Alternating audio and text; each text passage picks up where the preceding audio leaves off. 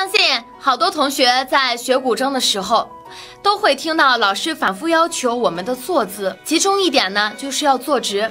可是好多同学啊，在弹琴的时候弹着弹的背就塌了。其实弹琴时坐直呢，不光是为了我们的坐姿端正标准，还有一点是非常重要的，而这一点往往好多学生会有所忽视。大家可以看一下。当你的背塌下去的时候，那么就会影响发力。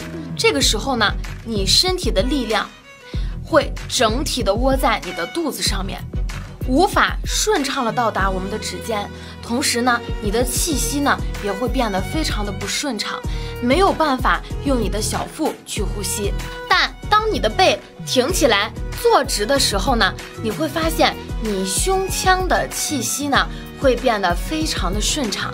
那么大家不要小瞧这个动作，因为我们平时练琴用的力量呢，并不完全是我们手指的力量，也需要去辅助我们的气息和我们的大臂、小臂的带动力量。只有当你的背挺直，你的气息和力量呢，才能顺畅的流动到指尖。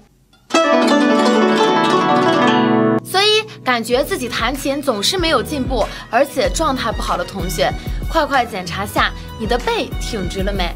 我是静怡老师，关注我，带你专业有效学习古筝。